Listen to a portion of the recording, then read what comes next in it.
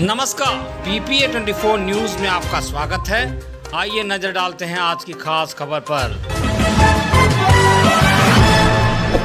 मुख्तार अंसारी की पत्नी व दोनों सालों पर लेखपाल की तहरीर पर दर्ज हुआ मुकदमा। फतेह उल्लापुर स्थित ताल की ज़मीन पर अवैध कब्जा करने का मामला। नंदगंज पुलिस ने सोमवार को विकास कंस्ट्रक्शन के पार्टनर्स मुख्तार अंसारी की पत्नी, आफसा और दोनों सालों अनवर शहजाद व सरजील रजा पुत्रगढ़, जमशेद रजा सहित अन्य के विरुद्ध हल्का के लेखपाल चंद्रशेखर राय की तहरीर पर मुकदमा दर्ज हुआ है। पुलिस के मुताबिक इस मामले में लेखपाल की शिकायत मिलने के बाद मौके पर जाकर जाँच पड़ताल करने के साथ ही आवश्यक विधिक कार्रवाई की गई थी।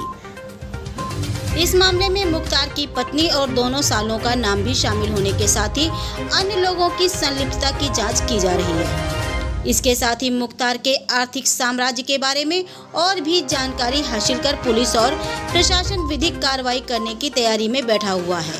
सूत्रों के मुताबिक थाना क्षेत्र के फतेहुल्लापुर में ताल की ज़मीन पर अवैध कब्जा कर अपने गोदाम के लिए अवैध सड़क निर्माण करने पर पुलिस ने धारा चार सौ सैतालीस आईपीसी तीन बटा पाँच सार्वजनिक संपत्ति क्षति निवारण अधिनियम उन्नीस सौ चौरासी के तहत मामला पंजीकृत किया है। अभी तीन दिन पहले ही गाजीपुर पुलिस एवं प्रशासन ने फतेहुल्लापुर स्थित उक्त ताल की ज़मीन को अवैध कब्जे से अवमुक्त कराया था।